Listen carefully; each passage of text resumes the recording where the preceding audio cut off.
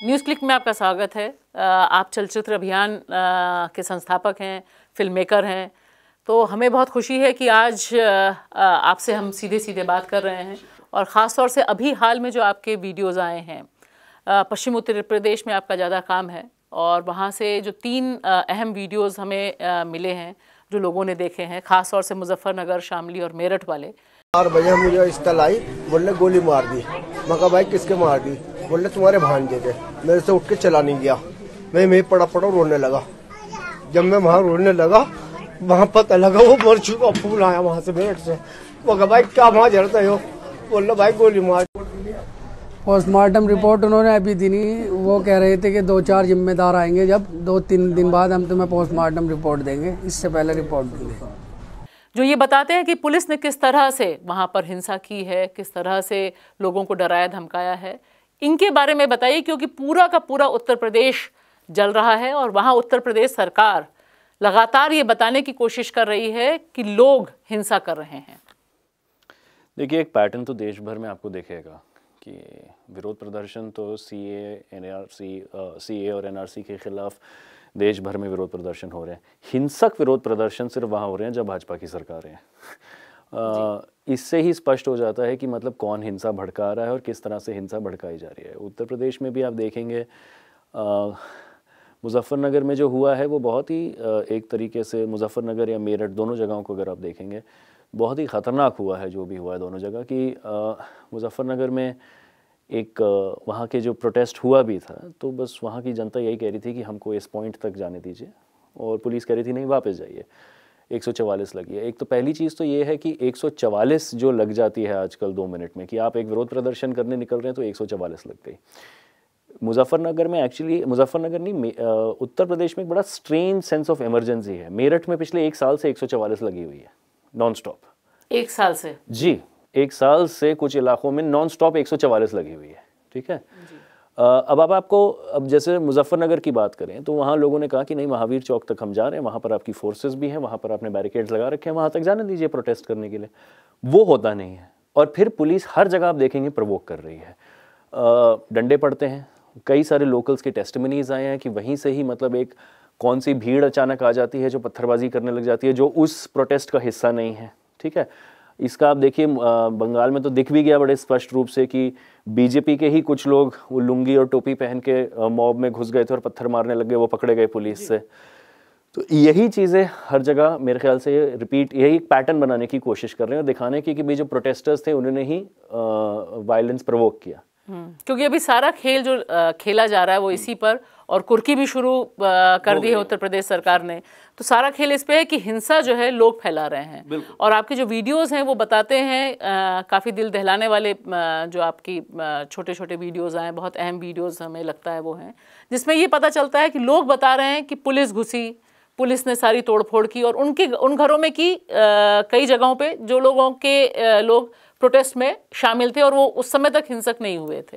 देखिए, कितनी ख़तरनाक एक माहौल है कि उसमें हमको कुछ अब फुटेज मिली है जहाँ पर पुलिस रात को सीसीटीवी कैमरा सबसे पहले तोड़ रही है। गाड़ियाँ वहाँ पर तोड़ दी। लोगों के घरों के अंदर घुस के खाला पार में, जो कि एक मुस्लिम बाहुल इलाका है मुजफ्फरनगर में, और एक और मोहल्ला है सरवट, जहाँ पर जो, सरवट के जो मुस्लिम बहुल इलाके हैं वहाँ पर। पुलिस घरों के अंदर घुस के लोगों को पीट रही है। वहाँ जो दिखा, टीवी देखा, टीवी तोड़ दिया फ्रिज देखा, फ्रिज तोड़ दिया, शीशे तोड़ दिए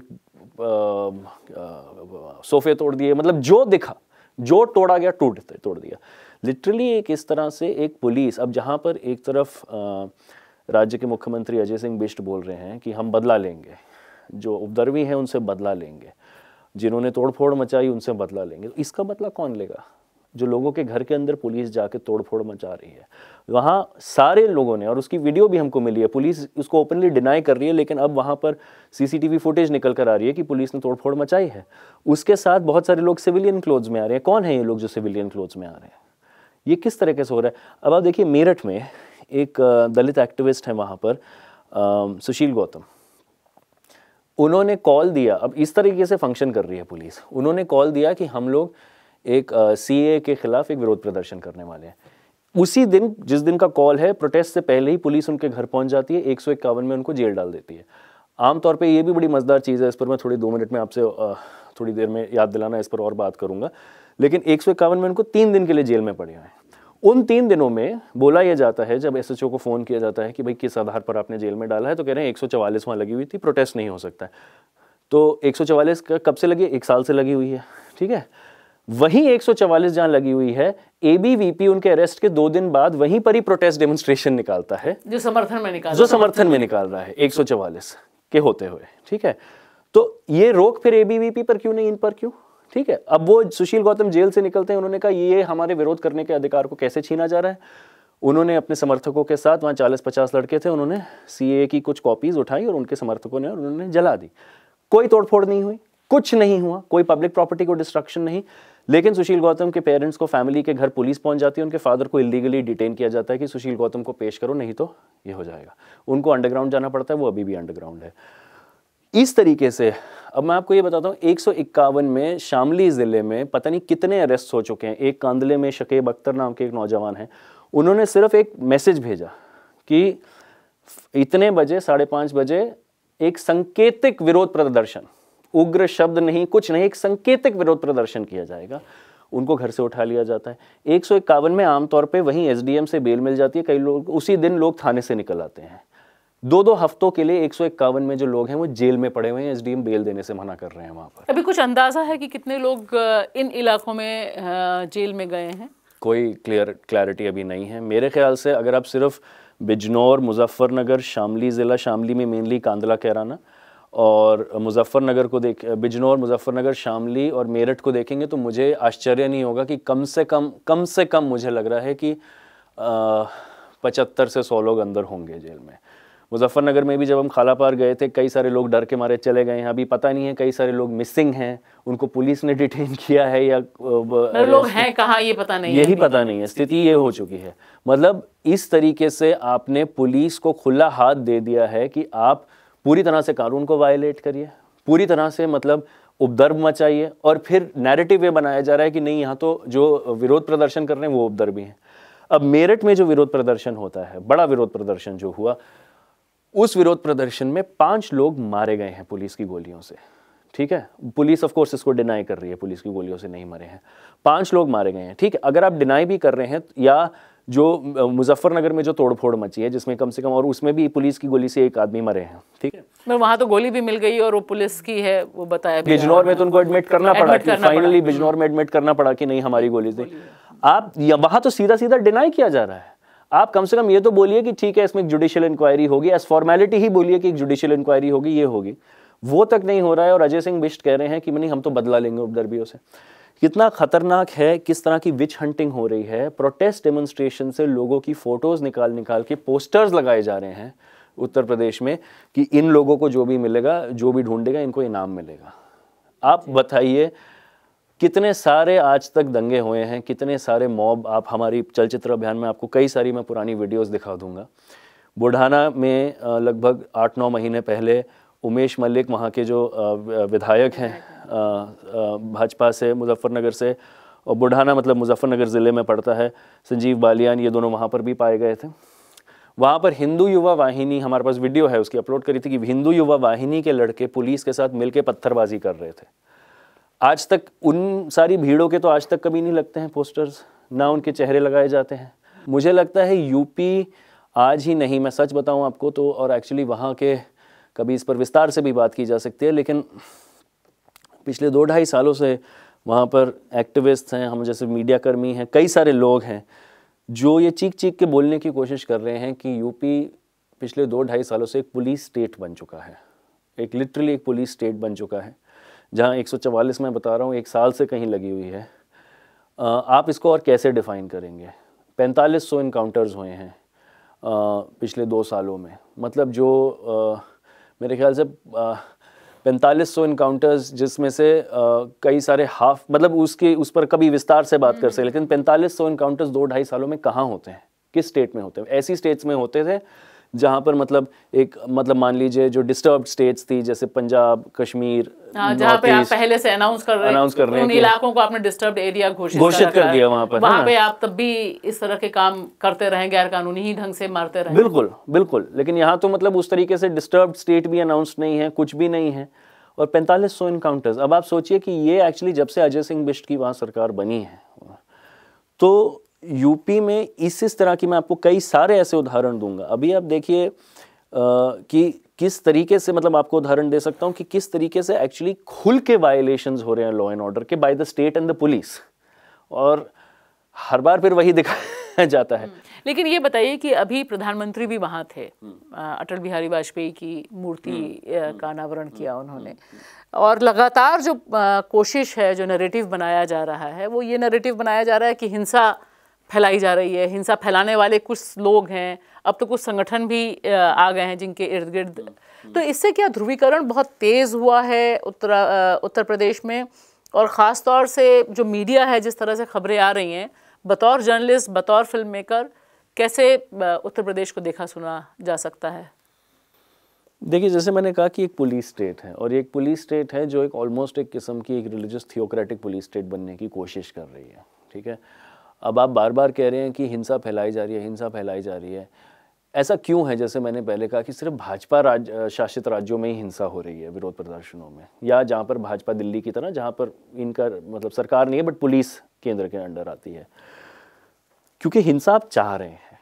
इन सारे प्रोटेस्ट डेमोन्स्ट्रेशंस को आप आ, आ, एक एक तरीके से इन सारे प्रोटेस्ट डेमोन्स्ट्रेशंस को आप इसकी लेजिटिमेसी लोगों के बीच में जो है उसको आप नकारना चाहते हैं। उसमें आप दिखाना चाहते हैं कि भाई ये लोग हिंसक हैं ये किसी राजनीतिक दलों से प्रभावित हैं या कुछ हैं ये जेनुइन नहीं है। अब आप देखिए कितने सारे एक्टिविस्ट जो हैं शोहेब साहब जो रिहाई मंच से हैं एस आर दारापुरी जी जो एक फॉर्मर आईपीएस हैं हम्म। ठीक है? आ, ये दीपक कबीर दीपक कबीर है कल्चरल एक्टिविस्ट रॉबिन है कितने सारे एक्टिविस्ट हैं। जिनको रैंडमली उठा के अंदर डाला जा रहा है और हो क्या रहा है कि जो भी उनको छुड़वाने के लिए भी जा रहे हैं, उनके ऊपर भी केस लगाए जा रहे हैं और उनके अंदर भी, उनके नाम भी एफआईआर में जोड़ के उनको अंदर डाला जा रहा है। जैसे मैंने बताया तो ये आप किसके ऊपर हिंसा का इल्ज़ाम लगा रहे हैं? जो आपने सारे एक्टिविस्ट अभी तक अरेस्ट किए हैं कि आपके पास कोई भी सबूत है कि उन्होंने हिंसा करी है? बहुत सारे लोग रैंडमली उठ के अभी तक गायब हैं डिटेंशन में हैं। मैंने आपको जो एग्जांपल्स दिए, इन्होंने कुछ भी हिंसा करी है? आपके पास कोई भी सबूत है जिन, मैंने जैसे आपको बता रहा था सुशील गौतम को या शकीब अख्तर को? कैराना से तो कुछ वहाँ के गाँव से कुछ ऐसे ऐसे लोग कैराना ब्लॉक के गाँव से उठाए गए हैं जिन्होंने बेचारों ने कुछ कुछ व्हाट्सएप तक नहीं भेजा। कुछ नहीं किया, बस इसलिए उठाए क्योंकि बाद में शायद ये विरोध प्रदर्शन का कॉल दे सकते हैं। इस स्थिति में तो मतलब ये स्टेट चल रही है तो लॉ एंड ऑर्डर का वायलेशन कौन कर रहा है? आप भड़का रहे हैं लोगों को, आप उकसा रहे हैं लोगों को। आप कह रहे हैं कि आपके विरोध करने का हक हम आपसे छीन रहे हैं। जहाँ पर भी लोगों ने ज़बरदस्ती उस हक को असर्ट किया, वहाँ पर हिंसक हुई अच्छा क्या माहौल एक खौफ का है या किस तरह से खास तौर से इन तीन जगहों की अगर हम बात करें मुजफ्फरनगर शामली और मेरठ किस तरह से वहाँ जो अकलीत के लोग हैं वो या बाकी जो साधारण भारतीय नागरिक हैं वो कैसे देख रहे हैं इस पूरे परिदृश्य को? बहुत खौफ का माहौल है बहुत ज़्यादा खौफ का माहौल है। जैसे मैंने बताया मुजफ्फरनगर से तो बहुत सारे लोग खालापार वगैरह से अपने घर पे ताले लगा के चले गए हैं डर के मारे। हर बार यही होता आया है और अभी भी यही हो रहा है। यूपी में जब से अजय सिंह बिष्ट की सरकार बनती है कि छोटा सा छोटा इंसिडेंट भी हो तो उसमें 200 लोग एफ़ आई आर में 200 लोग अज्ञात होते हैं। तो अब 200 लोग अज्ञात में किसी भी 200 लोग उठ सकते हैं किसी को पता थोड़ी ना है किसका नाम कब जुड़ जाए। एफ़ आप देखेंगे छोटे से छोटे इंसिडेंट में भी हमेशा दो तीन नाम अज्ञात के तो होते ही है। कभी दो सौ हम्म। दो तो ये इस तरीके से वहाँ पुलिस फ़ंक्शन कर रही है। लेकिन क्या इससे वो ध्रुवीकरण कर पाए जो करना चाह रहे थे हिंदू देखिए मेरे ख्याल से नहीं। इतना नहीं जितना वो उम्मीद कर रहे थे मेरे ख्याल से। मुजफ्फरनगर में भी देखिए अगर वहाँ सीधा सीधा इसमें संजीव बालियान वहाँ सारे आई विटनेसेस का और मेरे पास पहले के भी मैं आपको इंसिडेंट्स बता सकता हूँ जहाँ पर संजीव बालियान जो वहाँ के सांसद हैं मुजफ्फरनगर दंगों में भी एक मुख्य आरोपी थे।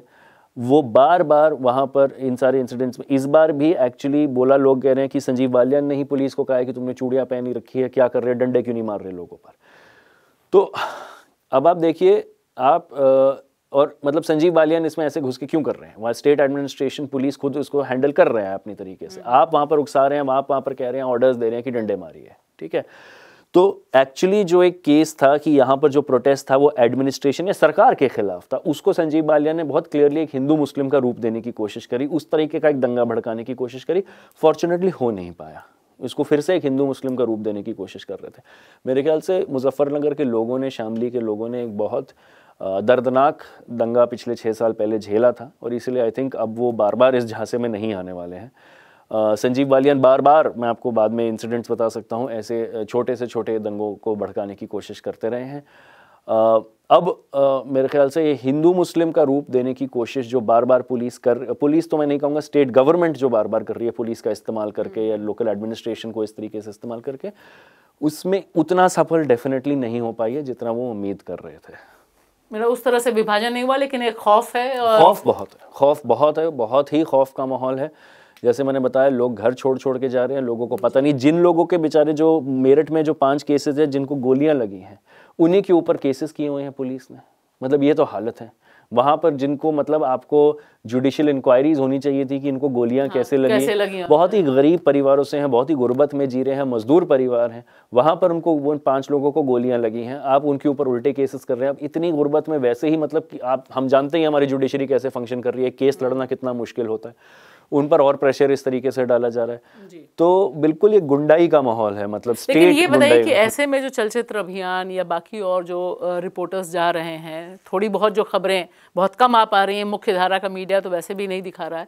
इसमें बतौर मीडिया बतौर पत्रकार किस तरह से जबकि हमने देखा कि हिंदू के पत्रकार को ही गिरफ़्तार कर लिया और काफ़ी यातना भी दी गई और बाकी लोगों को भी प्रताड़ित किया जा रहा है तो क्या माहौल मीडिया के लिए है वहाँ पर? देखिए, बहुत ख़तरनाक माहौल है। मैं नाम नहीं लूँगा उन अखबारों का, लेकिन मैं जानता हूँ वहाँ स्थानीय पत्रकार बेचारे जो हैं, वो ये सारी स्टोरीज़ खुद वहाँ के हिंदी अखबारों के लिए लेकर जाते हैं और छापने से मना किया जा रहा है। प्रशासन खुद मुड़ के कह रहा है कि इसको छापा नहीं जाएगा।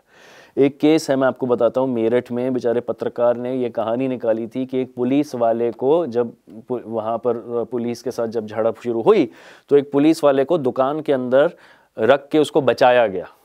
और खबर ये आई कि दुकान के अंदर बंद करके पीटा गया। तो इस तरह की स्थितियाँ बनाई हैं कि बेचारे पत्रकारों के लिए भी जीना वहाँ मुश्किल कर दिया है, जो स्थानीय पत्रकार हैं वहाँ के। और ये स्थितियाँ बने जा रही हैं आज की, चाहे पत्रकार हो, चाहे फ़िल्म मेकर हो, या जो भी आप बोलिए। मतलब आज छोटा सा एग्ज़ाम्पल और देता हूँ। हम लोग जब रात को खाला पार पहुँचे थे लिटरली खाला पार एक किसी, मैं क्या बोलूँ, एक वॉर जोन की तरह चारों जो मेन एंट्रेंसेस थी खाला पार की, वहाँ आरएएफ और पुलिस से ब्लॉक किया हुआ था। एंटर नहीं कर पा रहे थे हम। मोटरसाइकिल से आप फिर भी आप पैदल करके कुछ करके एंटर कर जाएँ तो कर जाएँ। ये हालत थी वहाँ खाला पार की, आप सोचिए। मेन एंट्रेंसेस जितनी थी कि ताकि मीडिया वहाँ रात को पहुँच ना पाए, जो उपदर पुलिस ने मचाया उसकी अगली रात को। तो अब आप सोच लीजिए क्या हालत है। सुबह कुछ करके लोग घुस जाते हैं, शाम को फिर से मतलब दे इंश्योर क्योंकि वहाँ पर पुलिस का फिर सारा जो उपद्रव होता है वो रात को होता है। तो इस स्थिति में खौफ तो है ही है। पत्रकारों पर एक बहुत बड़ा वहाँ पर दबाव है। पत्रकारों को भी धमकाया जा रहा है। बहुत अलग अलग किस्म के धमकियाँ आ रही हैं। अजीब व गरीब फ़ोन कॉल्स आने लग गए हैं आजकल, जो कभी इस तरह के फ़ोन कॉल्स कभी सोचा नहीं था सुनने को मिलेंगे। अब ये पुलिस खुद करवा रही है, या सरकारी गुंडे करवा रहे हैं, मुझे नहीं पता कौन कर रहा है, लेकिन हो रहा है। तो। डराने धमकाने की डराने धमकाने के फ़ोन कॉल्स आ रहे हैं इस तरह की चीज़ें आने लग गई हम्म। लेकिन चलिए तब भी ये अच्छा है कि कम से कम कुछ खबरें कुछ वीडियोस ऐसे सामने आए जिसमें काफ़ी जो सच रहा जिस तरह से चाहे तो वो लोगों ने खींचे हों क्योंकि कई बार तो मुझे ये भी दिखाई दिया कि लोगों ने खुद ही खींचा कि किस तरह से पुलिस जो है जी, आ, जी, मार रही है और उस समय इंटरनेट बंद था बाद में जब उनको मौका मिला तो एक रिजिलियंस जो है वो मुजफ्फरनगर में अभी तक इंटरनेट बंद है। अब आप सोचिए। सॉरी मैं इंटरफियर कर रहा हूँ लेकिन मुजफ्फरनगर के आप बाकी इलाकों में अगर घूम रहे थे इंटरनेट तो बंद था लेकिन फ़ोन चल रहा था। आप खाला पार के अंदर जाइए तो कई जगह तो फ़ोन तक नहीं चल। मतलब आप देखिए किस तरह से एक पुलिस गैरिसन बना दिया है इस इलाकों को। हम्म। तो ये जो एक बड़ा खौफ का माहौल पूरे उत्तर प्रदेश में बनाया जा रहा है तो इसके खिलाफ हम कैसे ज़िंदा रह सकते हैं या ख़बरों तक कम से कम आप और कुछ ना कर सकें लेकिन जो हो रहा है ज़मीन पर अगर वो भी हम नहीं दिखा पाएँ नहीं शेयर कर पाएँ ये बड़ा मुश्किल सा दौर है। और इसमें चलचित्र अभियान और आप तमाम लोग लगे हुए हैं ये बहुत एक सकारात्मक चीज़ लगती है कि खबरें तमाम दबाव के बावजूद बाहर आ रही हैं। मुझे लगता है कि एक ये हमारे लिए आस की बात है। और लोगों को भी भरोसा है कि कुछ लोग हैं जो काम कर रहे हैं। न्यूज़ क्लिक से बात करने के लिए बहुत बहुत शुक्रिया शुक्रिया जी, जी। बहुत बहुत शुक्रिया आपका।